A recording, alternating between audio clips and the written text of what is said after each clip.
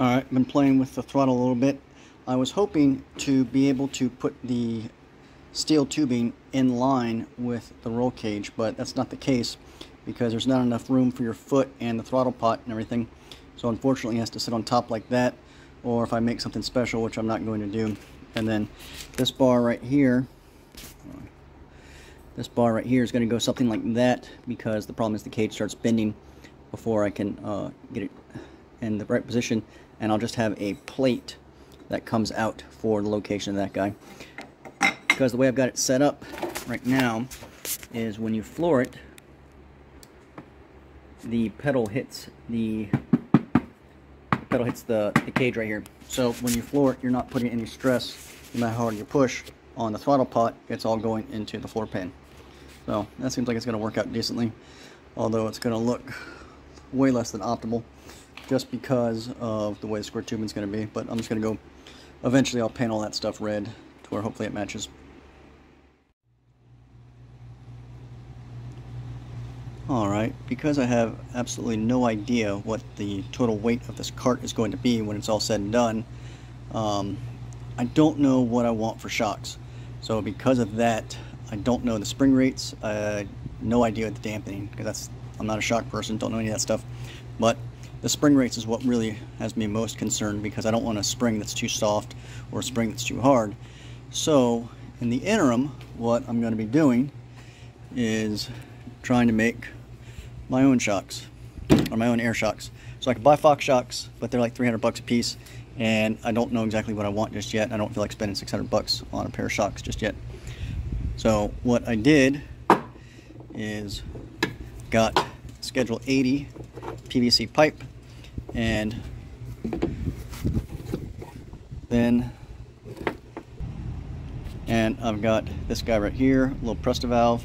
I need to make a new one of these because I did not make the MPT deep enough.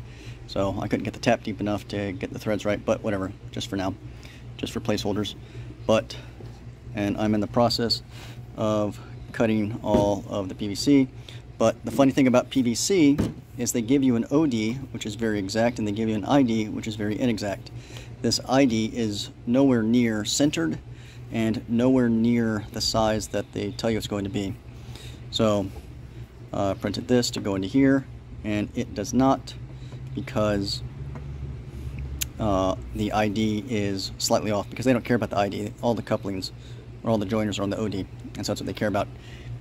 And for this tube right here, I had to go and get it bored out because in theory, this tube fits inside of this tube, but because the wall thickness of this is whatever it is, they don't care. You, you can't fit this tube inside of here without it binding up because it's not uh, on center or anything. I don't know if you can look down there and see, but on some sides there's a lot of material missing and on other sides there's zero material missing. So the wall thickness is all over the place and you can kind of tell that the wall right there is thinner than the wall right there. And so what I'm doing is I 3D printed this piece right here. It's my jig. It goes on the OD of the tube because the OD is exact. And then I just run it around to machine out the ID as needed, like right here. And then I can, once I have that, here's one I've already done.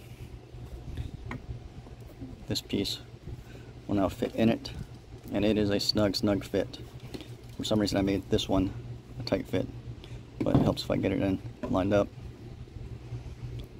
Yeah. I've already test fit one of these, and I know it works, but it's just how much garbage is in there to make it keep from going in. And doing it with one hand is also difficult, yeah. Nice snug fit, and it's got a little bit of a friction fit in there. So it's it's basically exact. Yeah, if there's any debris or anything like that, it just makes it more difficult to where you can't get in. It's got to be clean.